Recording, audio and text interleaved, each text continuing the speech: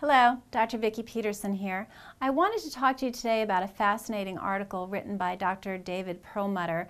Um, Dr. Perlmutter is um, a wonderful man. He recently uh, wrote a new book about the association between gluten and affecting the nervous system. He's a neurologist and uh, I very much respect him. He's part of the Institute for Functional Medicine, as am I. And, um, but this article was, was incredible because what it looked at is how uh, wheat is potentially toxic to all humans, uh, not just those with either celiac disease or gluten sensitivity, which really opens an understanding to why um, someone can be tested for celiac disease or tested for gluten sensitivity, have the test be negative, uh, but this person knows in their heart of hearts and very much in their body that they do poorly with gluten, and nobody can convince them otherwise. And so these are people who have been uh, kind of accused of having a placebo effect or just joining sort of the popular fad of gluten-free, and,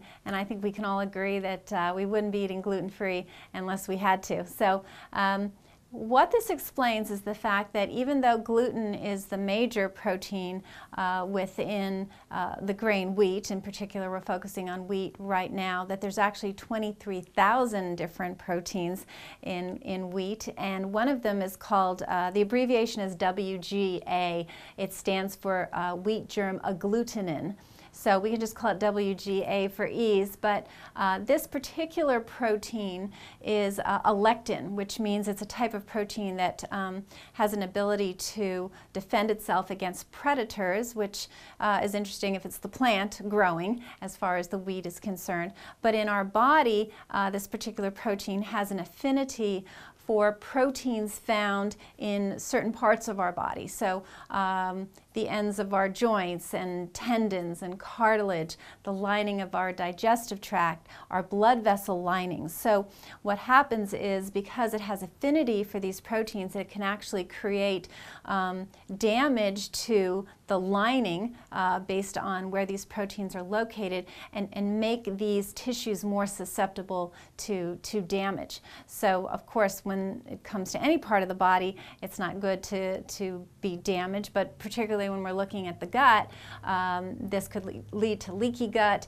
um, making the lining of the gut more susceptible to the contents of the gut, which some of which is obviously toxic. So um, not a good thing. And speaking of toxicity, they felt that there's uh, the wheat germ agglutinin, once again that WGA, can have direct toxic effects on uh, the brain, on the immune system, on the heart, and on the endocrine system, which has to do with uh, hormonal balance. So um, big impacts from this one protein.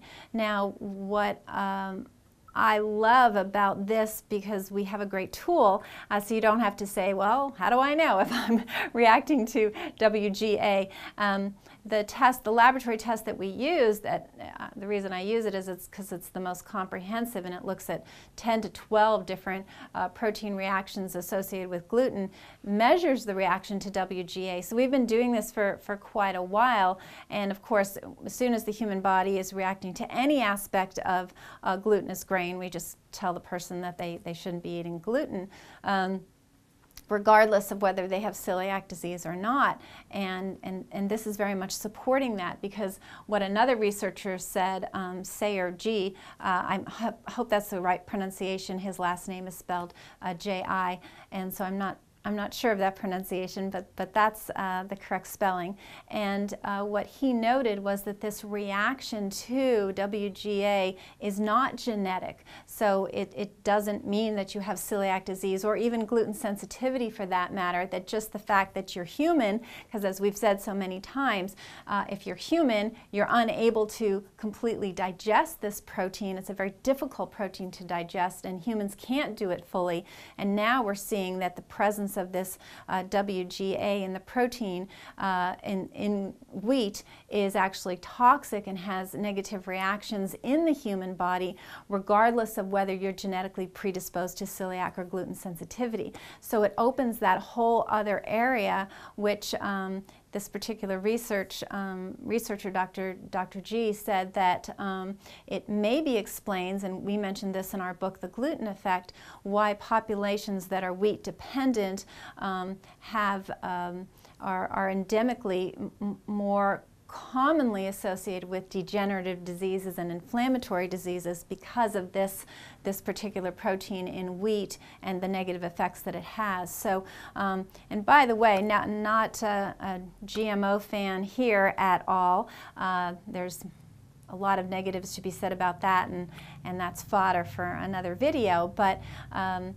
genetically modified uh, wheat is actually being uh, produced with, with uh, an enhancement of the WGA in it. So taking this wheat germ agglutinin and making it more present in genetically modified wheat. So uh, more, more problems there than you can possibly imagine. Um, but another reason to stay away from genetically modified foods uh, at all, in my opinion, um, but really some good food for thought as far as how wheat is, is affecting us as humans and, and the fact that we can't digest it, maybe we just should stop right there and, and realize that it wasn't meant to be. Um, but this information on the WGA I think is uh, is, is, is quite fascinating and really explains a lot as far as what we see with, with uh, people's reactions to, to wheat.